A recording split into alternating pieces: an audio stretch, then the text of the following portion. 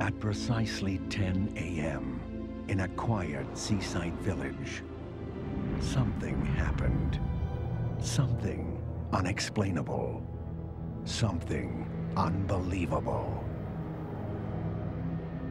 There's a lot of pregnancies, much more than would normally be expected. All the pregnancies seem to date from the day of the blackout. Oh no.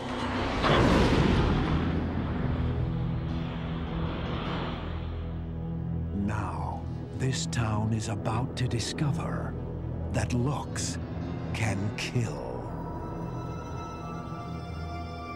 There have been a few casualties. I should say, accidents. That might be related to contact with the children. My daughter was involved. Who are they? They have one mind that they share between them. Father? Let us pray. You've been discussing us with Dr. Vern. What did she tell you? You're hiding something. The police can't do anything to stop the children. Get out while you can.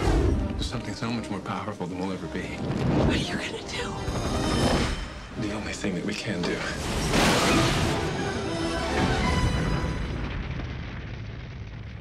You can't stop us, you know. Don't try.